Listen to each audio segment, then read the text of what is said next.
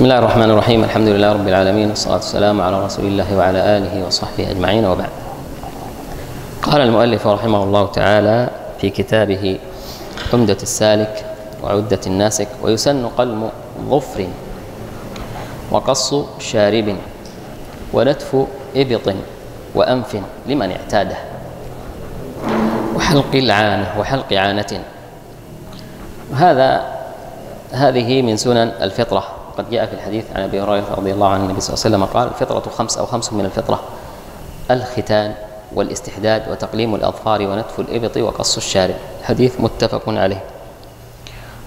تقليم الأظفار يعني قصها هذا مجمع على أنه سنة بإجماع العلماء ويستوي في ذلك الرجل والمرأة. فيستحب للمرأة وللرجل أن يفعل ذلك. طيب ثم الشافعية أو بعض الشافعية ذكر في ذلك كيفية ومن من ذكر ذلك الغزالي رحمه الله تعالى فقال يبدأ بالمسبحة وهي هذه ثم الوسطى ثم البنصر ثم الخنصر ثم خنصر اليسرى ثم بنصرها ثم الوسطى ثم السبابة ثم الإبهام ثم إبهام اليمنى. هكذا ذكر الغزالي رحمه الله تعالى الترتيب. لكن هذا استحباب منه رحمه الله تعالى ولا يعني لم يأتي في ذلك دليل إلا أن النووي رحمه الله تعالى قال عن قول الغزالي والذي ذكره الغزالي رحمه الله تعالى لا بأس به إلا في تأخير إبهام اليمنى فلا يقبل قوله فيه بل يقدم اليمنى بكمالها. يعني يقدم اليمنى بكمالها ثم يشرع في اليسرى. طيب وهناك ذكر في هذا حديث كأنه لكن الحديث هذا الذي ذكره الغزالي باطل كما ذكر ذلك النووي رحمه الله تعالى. قال باطل لا أصل له. طيب وأما الرجلان قال فيبدأ بخنصر اليمنى ثم يمرها على الترتيب حتى يختم بخنصر اليسرى. خنصر هو هذه يعني يبدأ بهذه من هنا وينتهي هذا في في الرجل وينتهي بخنصر اليسرى. طيب متى هل هناك وقت محدد لقص الأظفار تقليم الأظفار؟ لم يأتي دليل على تحديد وقت يعني أنه يستحب كذا في قص الأظفار. فالعبرة في هذا بطولها متى طالت؟ قلمها متى طالت قصها. متى طالت الأظفار يقصها. ويختلف هذا باختلاف الأشخاص والأحوال. فأشخاص تنمو بسرعة عندهم وأشخاص تتأخر. نعم. نعم. و...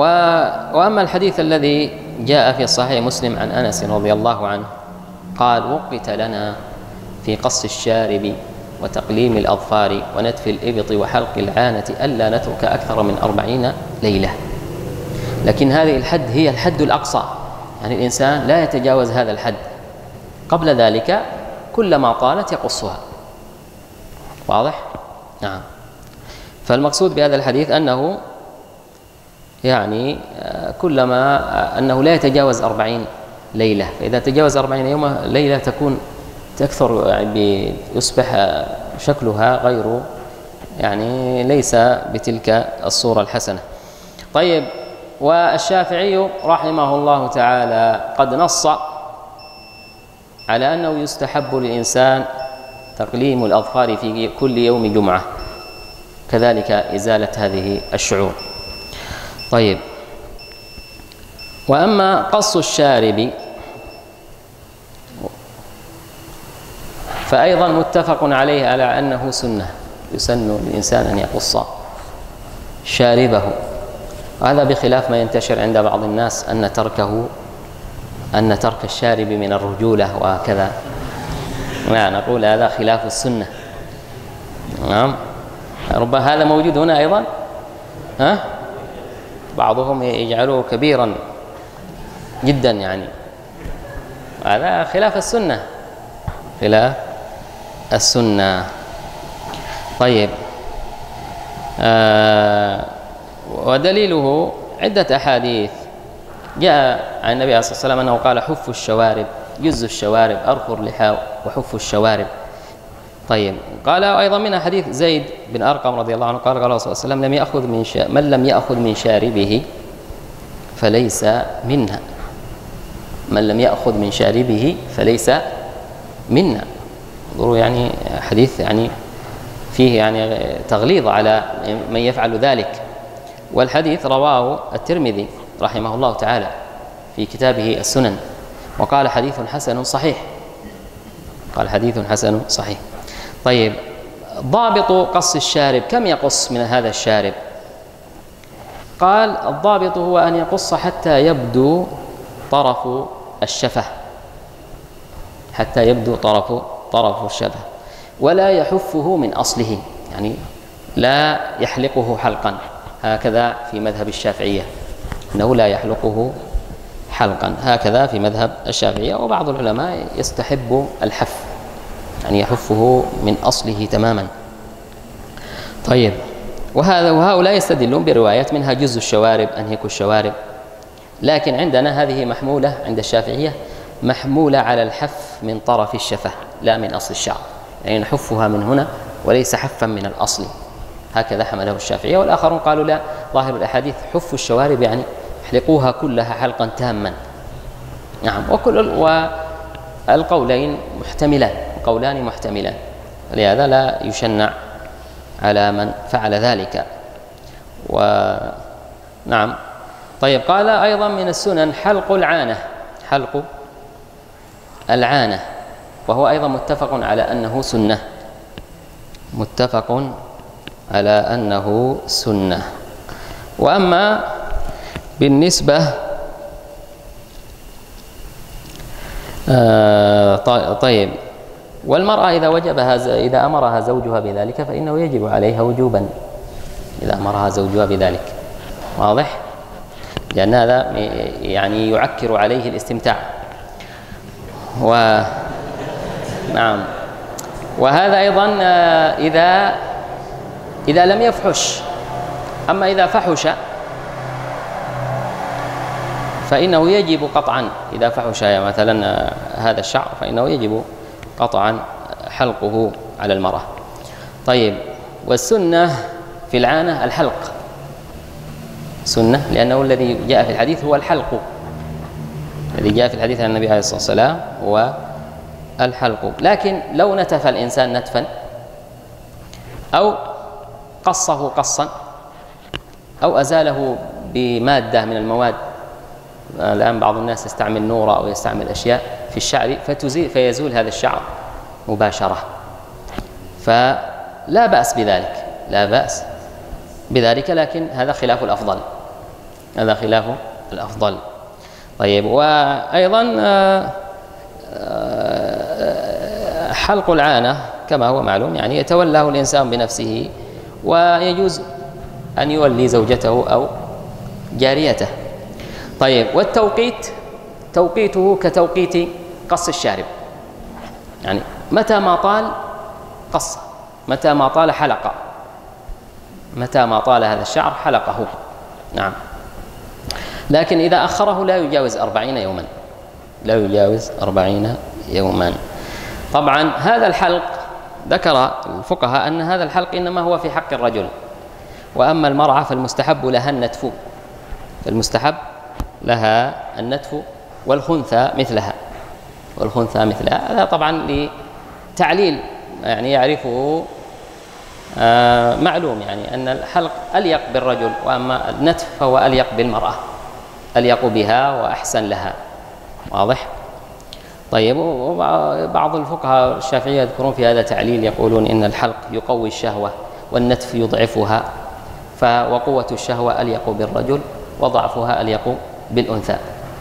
نعم هكذا ذكروا فالمهم الضابط في هذه الأمور أنه كلما طالت يحلق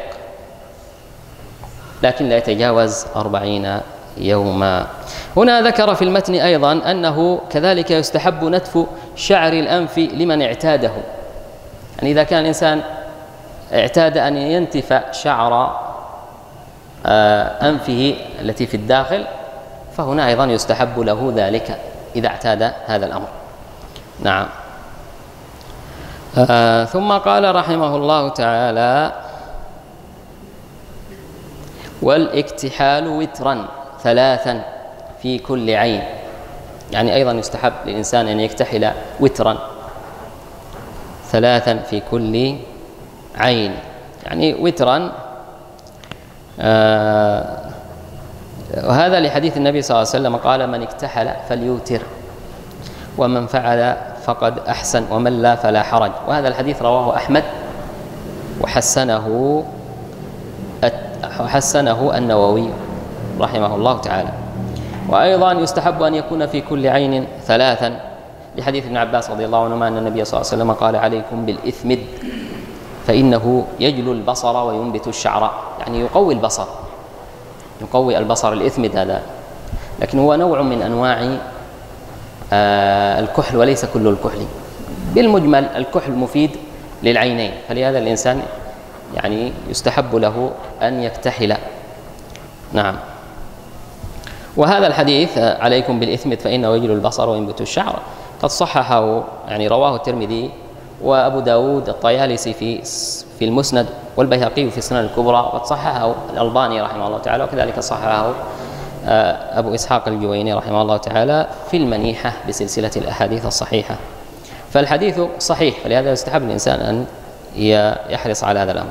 قال رحمه الله تعالى وغسل البراجم وهي عقد ظهور الأصابع. يعني أيضا يستحب للإنسان أن يغسلها. هذه العقد ظهور الأصابع هذه يستحب الإنسان أن يغسلها ويحرص على غسلها ويتعاهدها في أثناء الوضوء ونحو ذلك. قال رحمه الله تعالى فإن شق نتف الإبط حلقة.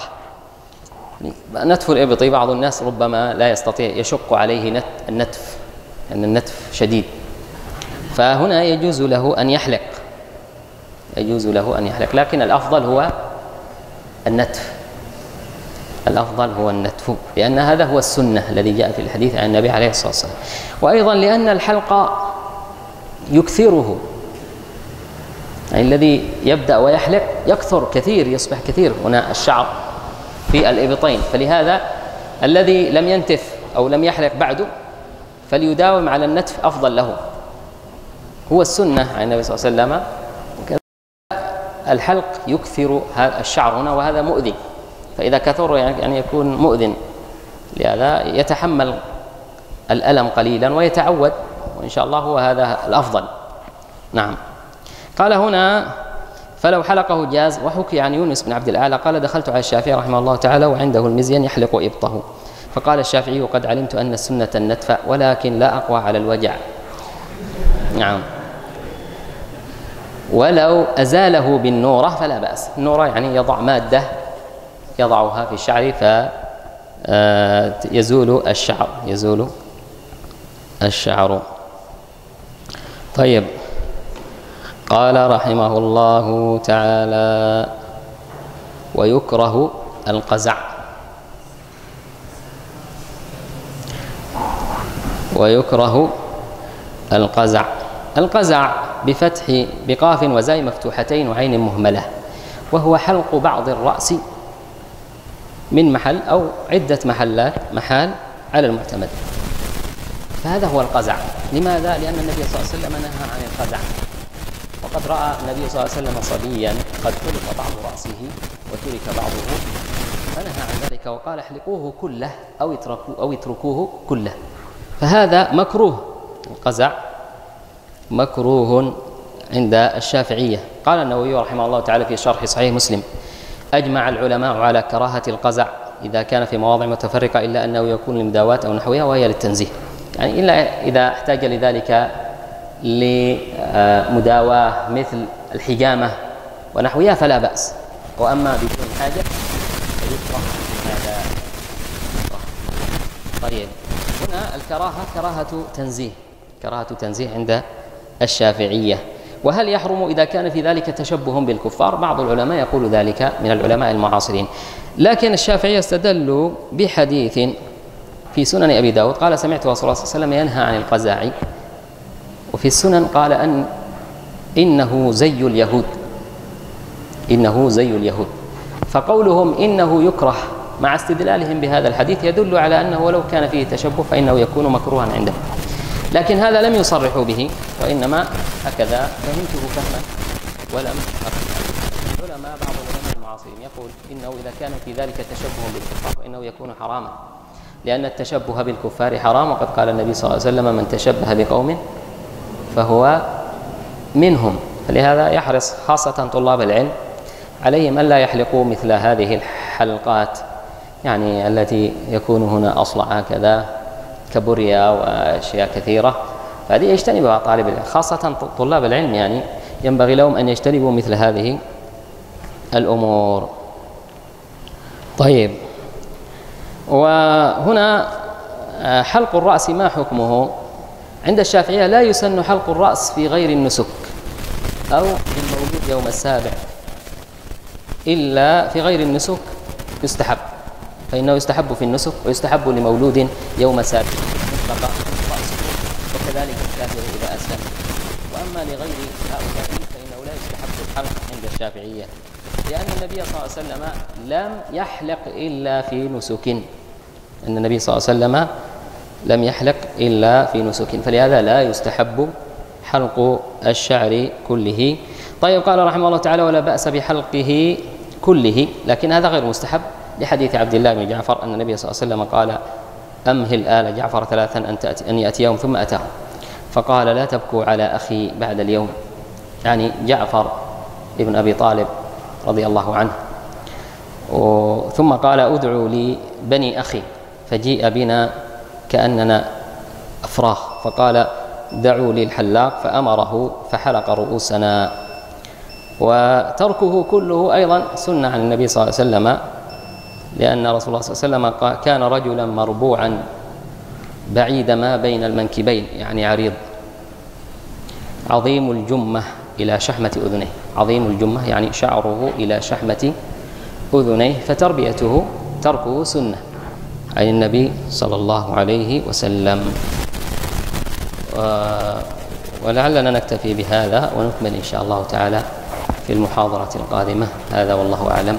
صلى الله وسلم على نبينا محمد وعلى آله وصحبه أجمعين.